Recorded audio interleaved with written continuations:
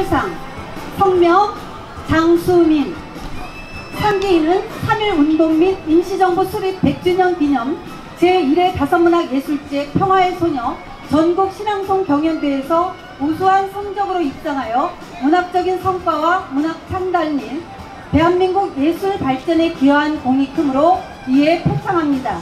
2019년 11월 16일 사단법인 한국다섯예술인협회 회장 김승호, 심사위원장 김소엽, 다음 양현. 상장 특별상. 성명 양현.